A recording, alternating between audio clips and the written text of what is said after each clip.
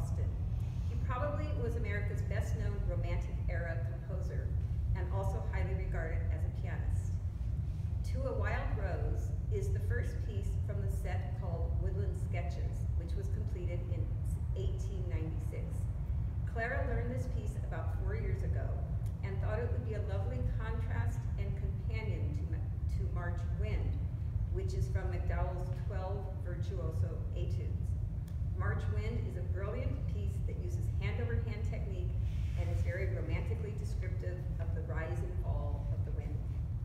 To a Wild Rose and March Wind.